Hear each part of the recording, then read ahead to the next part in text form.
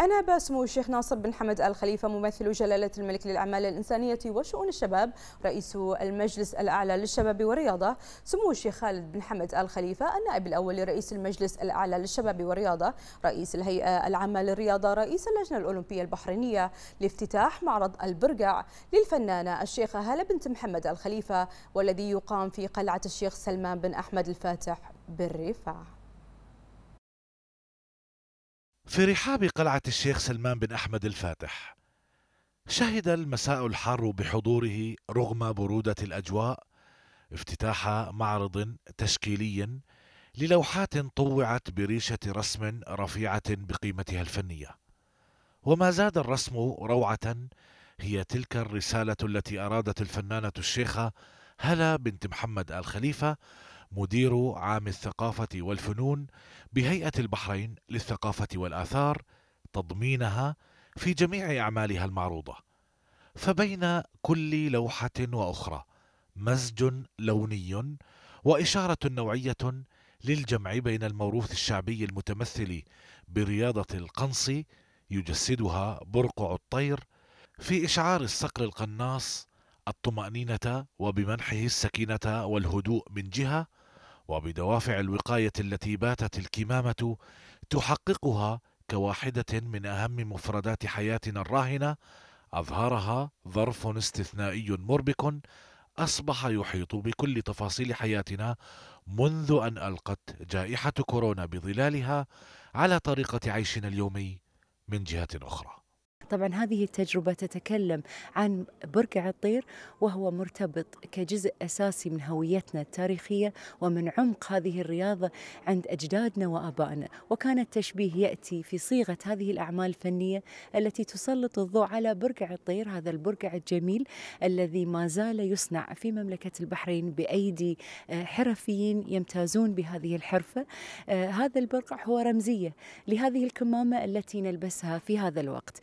الكمامة أصبحت جزء من أيامنا وهي تعطينا الشعور بالراحة بالطمأنينة عندما نلبسها. وهذا البرقع أيضا للطير يعطي الهدوء وهذه الطمأنينة. معرض جميل معرض رائع.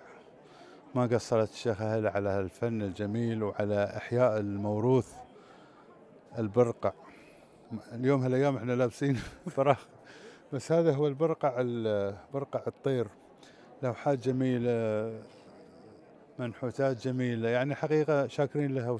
إلهام فني وحس نوعي لرسامة استطاعت بلوحاتها أن تمد جسرا من الإبداع الذي قارب الأشياء ووازن بين المعاني بدقة عالية وبجمالية غير تقليدية تآلفت بين ثناياها ذاكرة التراث وموروث الماضي الذي خط تفاصيله الآباء والأجداد بأسلوب عيشهم وتقاليدهم وهوايات كانوا يمارسونها ويحرصون على المحافظة على قيمتها باعتبارها جزءا من ثقافة الأسرة البحرينية. الموضوع من بساطته والقدرة على أن تخلق من هذا القناع آه، آه، سيمفونية رائعة في هذا المحل أيضا الرائع فهذه في حد ذاته خلق وإبداع فهي هذا الذكاء آه، الخارق من خلال آه، آه، الشيخة هلا اللي هي دائما متقدمة في هذه النواحي. عندها الحس تكوين المكان وروح المكان تخلقها في هذا الجو المتبادل. ربطت الفنانة هذا النقاب بوضعنا الحالي الآن بأن نحن بأن النقاب أصبح يشكل يعني شعار من من شعار من من آه، للإحساس بالأمان والإحساس بالراحة. وأعتقد إن هذا هو الرسالة الآن. آه، هذه الأنشطة التي تحيي الجوانب الفنية والثقافية والحضارية للمجتمع البحريني. أعتقد تستحق كل الإشادة. يعكس التغير الذي حل في البشرية خلال السنتين اللي فاتوا. التغيير لم يكن على صعيد الشكل فقط وإنما حتى على صعيد مناحي الحياة بأغلبها.